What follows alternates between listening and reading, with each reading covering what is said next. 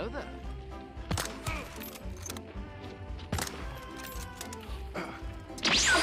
What the fuck? Got a hit on him.